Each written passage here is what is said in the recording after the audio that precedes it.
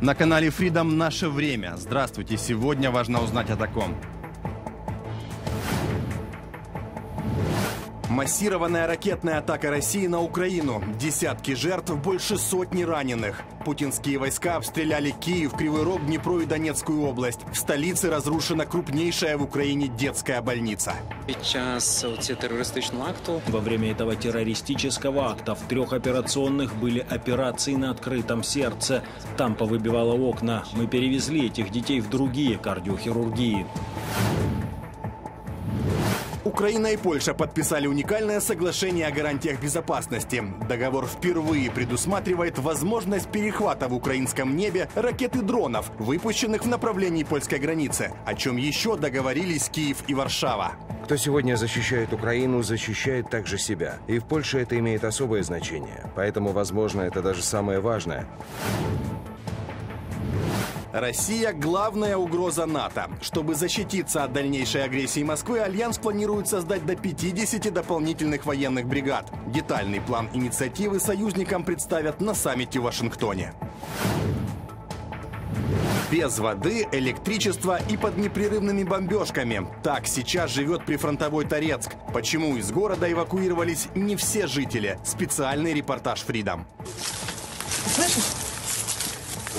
Ну, сейчас четко слышно, как летит дрон. И перед этим били 6 или 7 градов прилетело. Россия нанесла массированные ракетные удары по Украине. Впервые за долгое время атаки произошли днем и носили волнообразный характер. Путинские войска обстреляли Киев, Кривой Рог, Днепро и Донецкую область. К этому времени известно о 33 погибших и 140 пострадавших. Это данные Государственной службы Украины по чрезвычайным ситуациям. Для атаки российские оккупанты использовали 38 ракет разных типов, заявили в командовании воздушных сил ВСУ. В частности, это были кинжалы, искандеры и калибры. Силы украинской ПВО сбили 30 ракет воздушного, морского и наземного базирования. 10 человек погибли и 42 пострадали в Кривом Роге. Путинские террористы атаковали здание одного из промышленных предприятий города. Спасательная операция продолжается до сих пор. На месте трагедии работают и корреспонденты телеканала «Фридом». Сразу несколько городов Днепропетровской области утром 8 июля пережили массированную атаку российскими ракетами.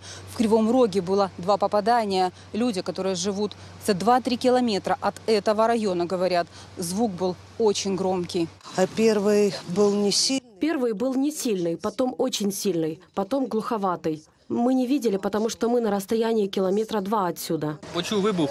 Услышал взрыв, выбежал в бомбоубежище сразу. Ничего не слушал, ничего не смотрел, где, что, куда. Уже потом, позже оказалось, что здесь такое большое горе. Основной удар пришелся по административному зданию промышленного предприятия. В течение нескольких часов здесь удалось погасить пожар. Теперь спасатели разбирают завалы. Предварительно было известно о 10 погибших, почти полсотни раненых. Многие люди за помощью обращались к психологам. У людей були У людей были разные реакции, начиная от просто шока, ступора, заканчивая истерикой. Надо было выслушать людей и направить их на дальнейшие действия, если они не понимали, что делать. Элементарно выпить воды. Мы их отвели на место, где им не будут мешать другие, где они могут выразить свои чувства. Атаковали россияне и Днепро. В городе поврежден девятиэтажный дом. Осколки ракет выбили окна и повредили несколько десятков машин. Также повреждено и одно из СТО. Всего городские власти сообщают о 10 поврежденных многоэтажных домах. 12 человек получили травмы. Часть из них за помощью обратились в больницы.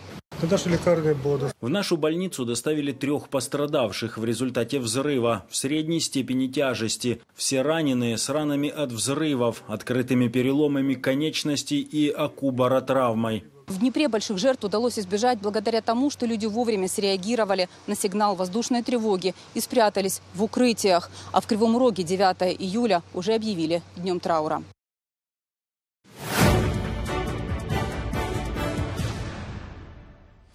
Украина и Польша подписали двустороннее соглашение о гарантиях безопасности. Договор предусматривает возможность перехвата в украинском воздушном пространстве ракет и дронов, выпущенных в направлении польской границы. Также будет создан украинский легион, который обеспечит подготовку бойцов ВСУ на территории Польши. Соглашение также содержит блок по сотрудничеству в оборонной промышленности. В частности, предполагается размещение польских компаний в Украине и совместное производство вооружения.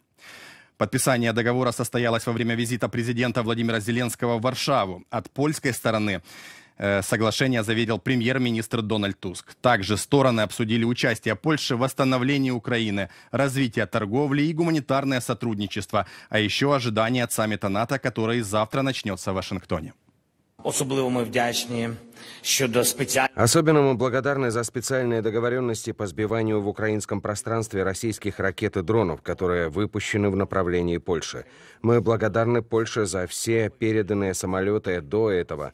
И мы поднимаем вопрос о передаче еще самолетов с современной натовской авионикой, чтобы защитить наше гражданское население и нашу сеть украинской энергетики. И третье. Мы зафиксировали в нашем договоре по безопасности подготовку на территории Польши украинского легиона, нового добровольческого военного подразделения. Кто сегодня защищает Украину, защищает также себя. И в Польше это имеет особое значение. Поэтому, возможно, это даже самое важное, лучшая гарантия нашего сотрудничества в сфере безопасности. Потому что сегодня у нас есть общая программа, общий проект. Потому что наша безопасность общая и неразделимая. В США на саммите НАТО вы также сможете рассчитывать на нашу полную поддержку. Этот путь Украины в НАТО дольше, чем вы хотели. Дольше, чем хотела Польша, мы это знаем. Пока сделаем все для того, чтобы помощь НАТО для Украины была была наиболее эффективной. В Варшаве также состоялась встреча президентов Украины и Польши. Владимир Зеленский и Анджей Дуда подробно обсудили оборонное сотрудничество и потребности ВСУ. Также лидеры стран отметили важность саммита мира, соглашение о гарантиях безопасности и обсудили новый пакет помощи от Варшавы. В то же время, по словам премьера Дональда Туска, Польша ищет возможности помочь Украине пережить тяжелую зиму, а именно производить электроэнергию за европейский счет при условии, что Варшаве не придется платить за дополнительные выбросы в результате сжигания угля на ТЭС. Эту электроэнергию Польша могла бы отправлять в Украину имеющимся энергомостом. Глава польского правительства подчеркнул, что таким образом, конечно, не удастся полностью решить проблему обеспечения Украины электричеством, но хотя бы частично это покроет дефицит электроэнергии. Швеция в новой стратегии национальной безопасности определила Россию как наиболее серьезную угрозу. По словам министра обороны Польши Йонсона, Нынешняя ситуация, э, Пола Йонсона, нынешняя ситуация самая тревожная с конца Второй мировой войны. Также Стокгольм опасается усиления военного сотрудничества между Москвой и Пекином. Ранее Йонсон заявил, что нападение Российской Федерации на кого-то из членов НАТО не является неизбежным, но Кремль и дальше стремится разделить союзников в Североатлантическом альянсе и Европейском Союзе. До 50 бригад планируют создать НАТО для защиты от нападения России. Об этом сообщает Рейтер со ссылкой на источник в Альянсе. Собеседник агентства отказался сообщать подробности секретного плана, однако отметил, что набор персонала станет серьезной проблемой, так как в одну бригаду входит от 3 до 7 тысяч военных. Также, по его словам, подробности усиления обороны могут быть озвучены на саммите лидеров НАТО, который завтра начнется в Вашингтоне. 85 боевых столкновений произошли по всей линии фронта с начала этих суток. Подробнее о ситуации на передовой смотрите далее в сводке Генерального штаба ВСУ. Российские оккупанты продолжают вести наступательные операции по всей линии фронта. Активно задействуют для ударов авиацию. Украинские защитники сдерживают натиск войск РФ и наносят противнику значительные потери, сообщают в Генеральном штабе Вооруженных сил Украины. Самым горячим направлением остается Покровское. Там происходит треть от всех боев на линии фронта. Захватчики пытаются вытеснить украинских бойцов с позиций, в частности в районах Воздвиженки, Новоалександровки и Тимофеевки. Также на плацдарм российские войска регулярно сбрасывают неуправляемые авиационные ракеты и бомбы. На Купинском направлении противник дважды безуспешно штурмовал расположение сил обороны вблизи Стельмаховки и Берестового. Ситуация контролируется, отметили в Генштабе. На Торецком плацдарме противник также активно использует авиацию. Противник преобладает по многим позициям огневого поражения, и противник не скрывает своих армейских устремлений в части уничтожения Украины как государства и уничтожения украинцев как составляющей э, народов мира. А это значит, что это наша война, война за выживание. В этом противостоянии мы можем победить при условии полноценных и своевременных поставок вооружений и техник, которые есть у наших западных партнеров, в том числе и у них участниц клуба «Рамштайн 50+.» Тем временем украинские операторы беспилотников улучшают свои возможности перехвата российских дронов дальнего радиуса действия в воздухе. Это позволит воздушным силам ослабить давление на средства ПВО ближнего и среднего радиуса действия. Об этом говорится в отчете Института изучения войны. В качестве примера аналитики приводят видео от 1 июня. На кадрах показано, как украинские силы используют FPV-дроны с видом от первого лица для поражения российского тактического разведывательного беспилотника «Зала» и разведывательного беспилотника среднего радиуса действия «Орлан-10» в небе над Великой Новоселкой в Донецкой области. В институте констатируют, что способность украинцев использовать дешевые и широкодоступные беспилотники для масштабного перехвата более дорогих российских разведывательных дронов – вероятно, позволило бы украинским силам ослабить российские ударные комплексы, сохраняя при этом снаряды для ПВО малой и средней дальности, для более дорогих и значительных российских воздушных целей. Партизанское движение «Атеш» провело разведку на аэродроме Херсонес во временно оккупированном Севастополе. Там размещены остатки российской авиации, а именно противолодочные вертолеты, так как основную часть авиации РФ уже перебросила на аэродром Бельбек, пытаясь уберечь ее от украинских атак, говорят партизаны. Они также выяснили, что Херсонес используется в основном как база для БПЛА. 1200 российских военных ликвидировали силу обороны Украины за минувшие сутки. Всего же с начала полномасштабного вторжения РФ число потерь живой силы российской армии достигло более 552 тысяч. Об этом сообщает Генеральный штаб ВСУ. Кроме этого, украинские военные уничтожили 16 российских танков, 40 боевых бронемашин, 29 артиллерийских систем, один самолет и 31 беспилотник противника. 120 тысяч российских военных погибли в Украине за два с половиной года. Это данные последней регулярной сводки медиазоны русской службы BBC и команды волонтеров.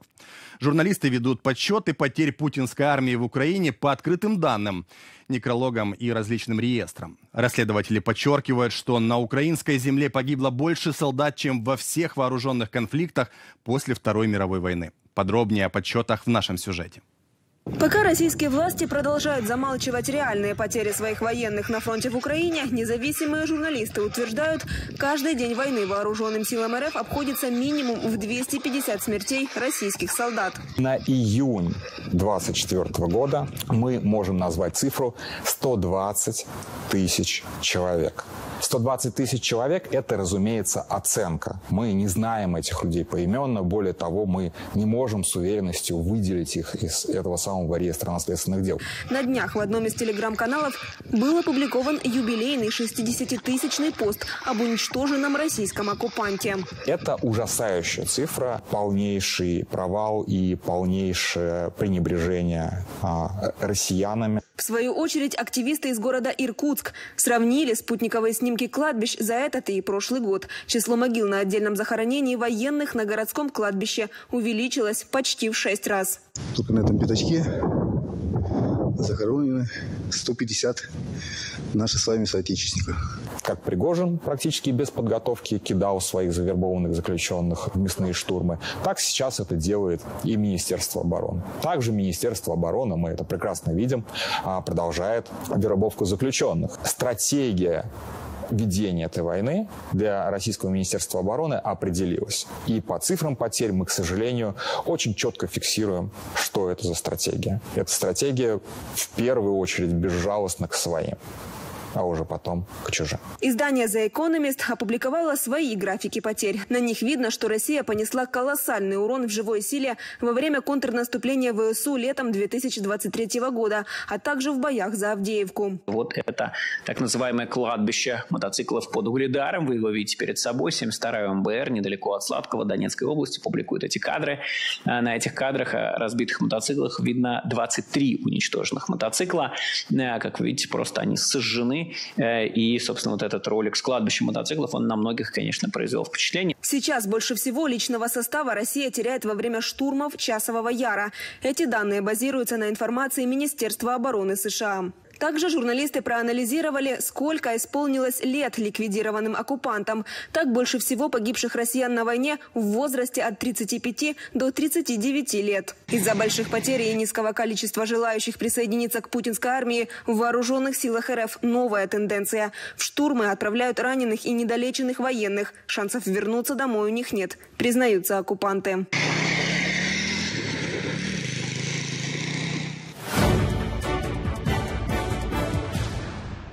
И далее возвращаемся к теме массированного ракетного обстрела Украины. Мы подготовили специальный репортаж из Киева. В результате утренней российской атаки детская больница Ахмадет в столице почти на 80% выведена из строя. Разрушены все коммуникации, в медцентре нет света и воды, заявил заведующий отделением трансплантации костного мозга Александр Лисица. Только в его отделении в момент атаки было 20 тяжелых больных, а всего более 50 маленьких пациентов. Подробнее о последствиях российского террора и реакции на ее мирового сообщества в сюжете. Россия нанесла масштабный удар по детской больнице Киева. Российские ракеты попали в киевскую детскую больницу в результате смертоносных обстрелов всей Украины. Путин бомбит детскую больницу. Такими заголовками пестрят сайты крупнейших международных медиа, шокированных циничным ударом российских оккупантов по Ахмадету. Саме тут діти обретають надію. Именно здесь дети обретают надежду, надежду на здоровье, надежду на жизнь. И именно по этому заведению прилетела российская ракета. Я уже устал говорить, что Россия – это страна-террорист. И это еще дополнительное доказательство, что эта страна не может существовать как государство. Удар пришелся по корпусу, где располагалось токсикологическое отделение. В момент атаки дети проходили тут процедуру диализа. Десятки пациентов и их родителей ранены. Среди медицинского персонала есть погибшие. После удара в медицинском центре пропала электроэнергия, и те пациенты, которые находились на аппаратах искусственного кровообращения или вентиляции легких, и те, кто был на операциях, остались без систем жизнеобеспечения. Их эвакуировали в первую очередь в другие медучреждения Киева. У меня вчера родился племянник, которому сегодня должны были делать операцию на сердце, потому что у него не открывалась аорта. Ребенка перевели в кардиоцентр и решали вопрос, когда делать операцию. В то время, когда мы ждали, раздался взрыв. Нас всех накрыло взрывной волной. Я разбирала завалы, пока не приехали спасатели. Мы все вместе, люди, которые были в то время здесь, на территории больницы, начали оказывать медицинскую помощь, начали разбирать завалы. Мы понимаем, что более 20 детей пострадали в результате террористического акта. Плюс мы говорим не только об Ахмаддете. У нас есть центр детской кардиохирургии, который находится на территории Ахмаддета. И там во время этого террористического акта в трех операционных были операции на открытом сердце. Там повыбивало окна. Мы перевезли этих детей в другие кардиохирургии. Для обстрела крупнейшей детской больницы Украины Россия использовала стратегическую крылатую ракету воздушного базирования Х-101. После того, как кадры беспрецедентной атаки попали в сеть, россияне ожидаемо стали распространять дезинформацию, пытаясь снять с себя ответственность. Судебные эксперты Минюста сделали предварительные выводы по видео момента попадания в детскую больницу Ахмаддет в центре Киева и изъятым на месте происшествия остатком ракеты. Без комментариев. Андрей Гайченко, заместитель министра юстиции Украины, Facebook. Атака России всколыхнула международное сообщество. Мировые лидеры осудили совершенный Россией террористический акт. Россия нанесла удар по детской больнице в Киеве и снова убила невинных мирных жителей. Это террористы, с которыми нельзя вести переговоры. Маргус Цахна, министр иностранных дел Эстонии.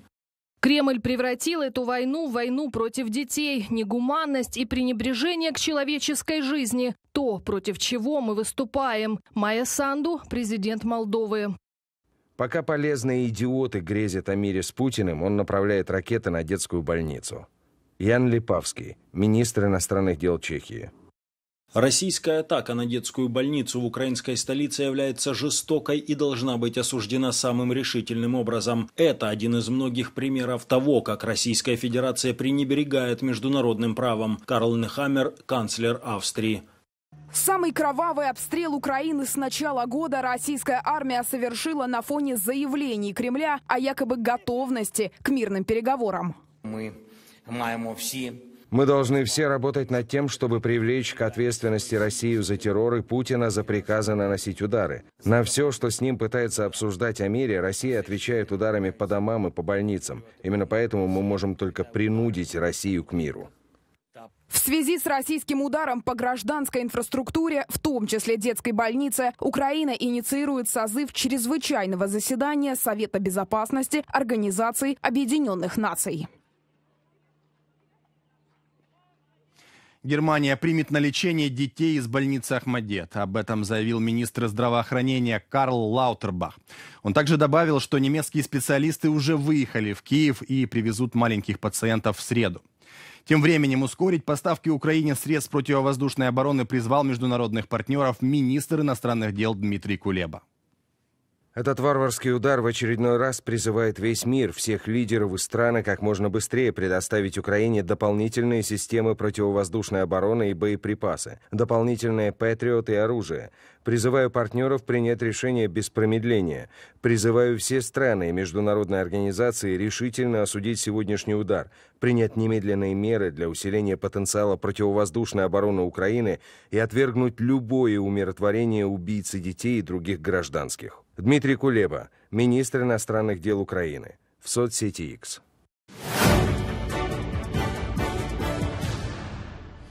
И к другим важным темам. Премьер-министр Венгрии Виктор Орбан с неожиданным визитом посетил Пекин. Он провел переговоры с лидером КНР Си Цзиньпином. В частности, стороны обсудили войну России против Украины. Орбан заявил, что Китай является ключевым государством в создании условий для мира – Отмечу, что визит венгерского премьера в Пекин и его остановки на прошлой неделе в Киеве и Москве состоялись сразу же после того, как Венгрия возглавила Совет Европейского Союза. Виктор Орбан вызвал новый всплеск недовольства в Брюсселе из-за участия в неформальном саммите Организации тюркских государств в Азербайджане.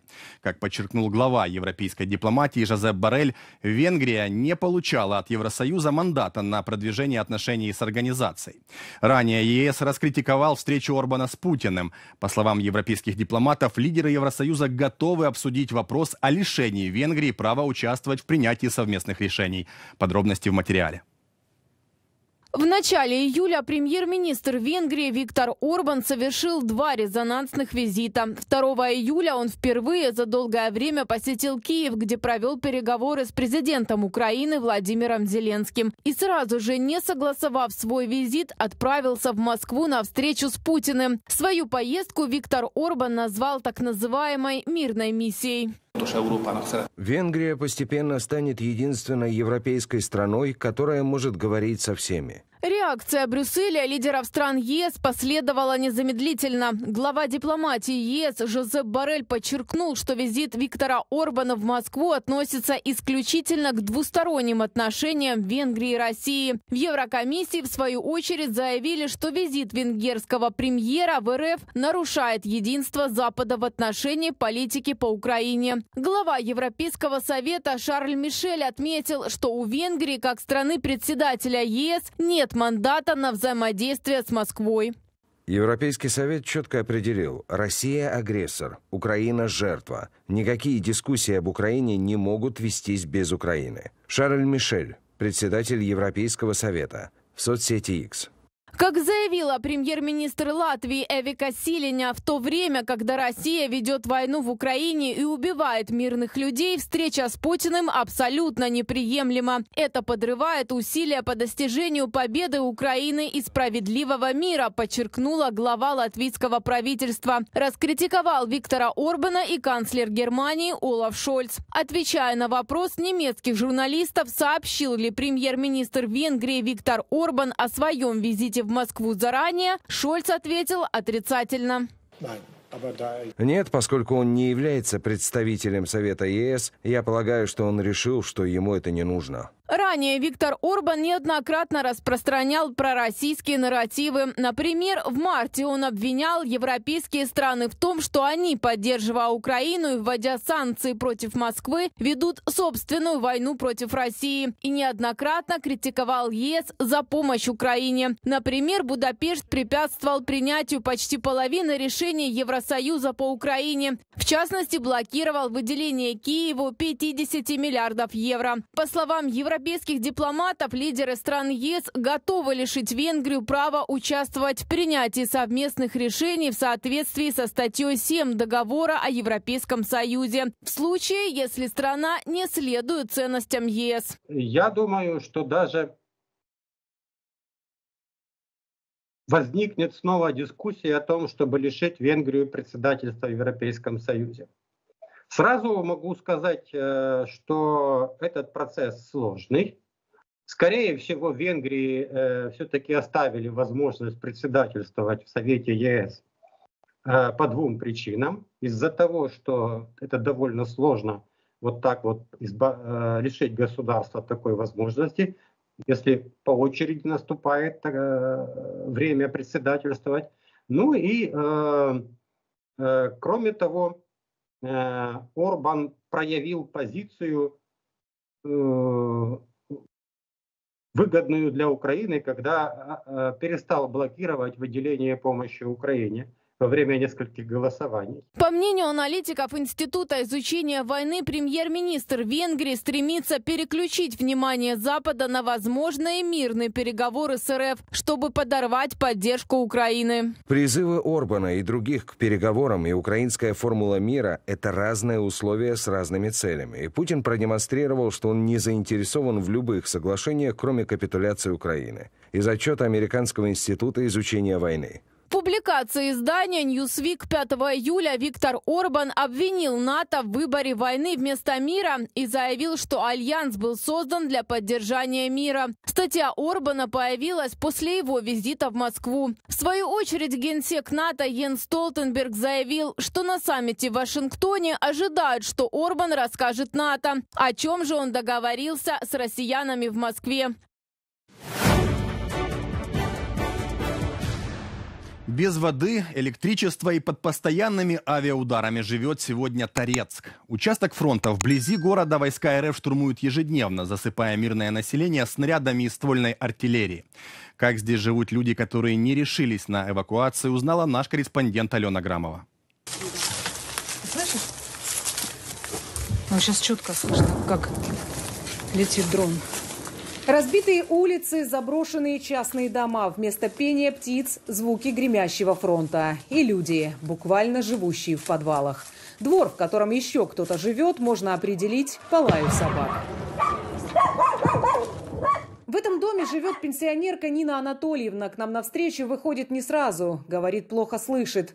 Уже год у женщины проблемы со слухом после контузии. Ой, у меня еще контузия. Это... У вас контузия? Ну да. Это что было? По дому еще прошлый год ударили Зрадовые. Дальше залаживают периодически. Нина Анатольевна живет в доме соседей. От ее жилья после попадания российского снаряда остались лишь руины. А вы были, когда вот это произошло, были здесь? Дома в доме. И прям был пожар? Ой, и, и перед этим били 6 или 7 градов прилетело. Руки женщины уже давно не отмываются от гари. Еду приходится готовить только на костре. Для технических нужд собирают дождевую воду. Застираем, моем, все делаем. Дождевой водой. Мы рады, как идет вода. Даже обстрел мы набираем бутыля все равно. Вот с дома выскочишь, набрал. Вот такое вот дело. Жизни нет, короче. Пенсионерка рассказывает, в этом частном секторе на трех улицах проживает не более десяти человек. Остальные давно выехали. Фактически нет, то есть как раньше было. И... Ой, нет.